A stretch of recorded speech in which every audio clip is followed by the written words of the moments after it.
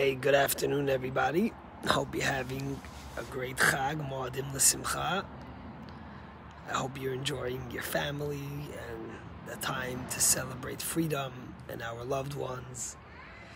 You know, the difference of what one year does from last Passover to this Passover. Last Passover, we were all alone. We were all ourselves. I remember thinking of my parents who were at home doing Pesach themselves for in their the first time in their whole life, and so many other people. But this year is different. We feel this hope, that there's light at the end of the tunnel. So many of us here in America are blessed that we're able to do Passover with our loved ones. Our elders have been vaccinated, our parents, our grandparents, and they're able to celebrate in small groups. Not everyone is that lucky. There's other places in the world, in London and in Paris, that they're in lockdown, and so many other places. But we're celebrating this tremendous gift that God gave us. And this year, when we said Dayenu in our home, you know, I always joke that Dayenu, which means enough, is really a message for the Seder leader, Dayenu, that, you know, how much could you eat already? We want the brisket, we want to move on. But I told my children that as we pause to sing the Dayenu and to thank God for the things we have, we need to think and, and, and sing a Dayenu for the gift that God has given us, for the miracle that we have survived this pandemic, that we have been able to be reunited with our families, that we are healthy. Yes, next week on Sunday, we're going to say Yizkor. We're going to remember our loved ones. We're going to remember the over 500,000 people in America alone that died from this pandemic. And that will be a time to remember all those empty seats at the Seder, to remember those who lost a loved one that although their life might somehow resume, it will never be the same because their loved one is not there anymore. But today, Dayenu, we have to think about all the gifts that we have.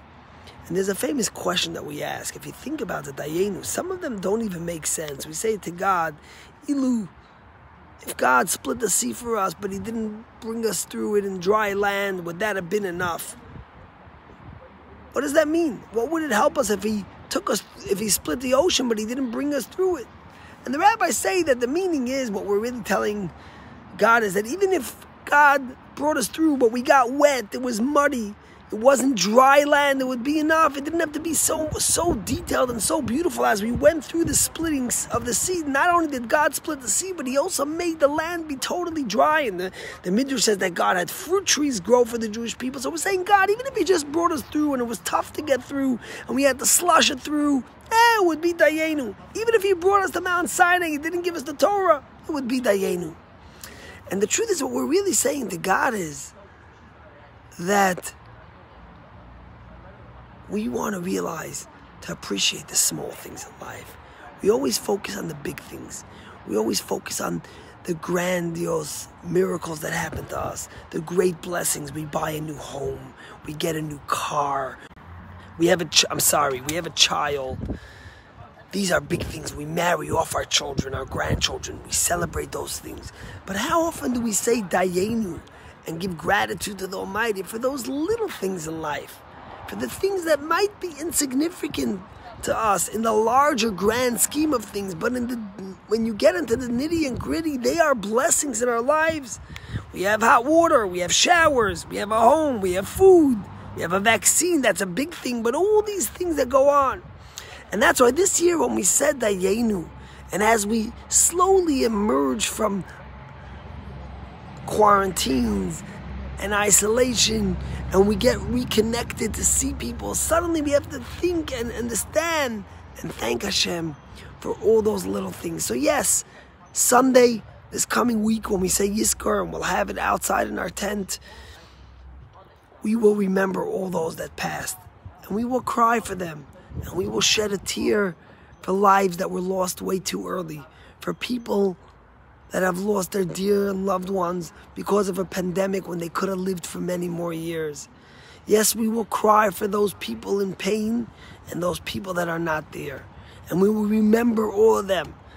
But that will be the time of Sunday today and over Passover and over the Seder, it's a time of Dayenu.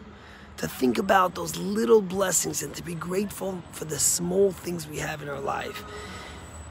You know, it was very emotional when we came home the first day. On Sunday, we went to shul. It was a little chilly. It was damp, but we had shul and we put up a beautiful tent to be safe outdoors with no walls. And there was about 60 people who showed up, all in masks, social distance, in order to daven, in order to pray on the first day of the holiday, in order to say the Hallel, to praise God and to thank Him, in order to say the famous prayer of Tal, praying for summer months to come and the dew to start falling and the rain to stop. And we prayed the Birchat Kohen, and we had the honor of having a Kohen do the priestly blessing. And I looked around and I got up to speak and give my sermon, and I was choking in emotion.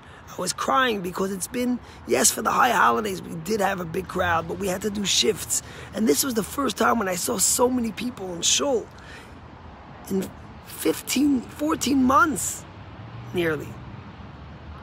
It was emotional. Dayenu, I said, God, I'm thanking you for this little thing because it's actually a big thing.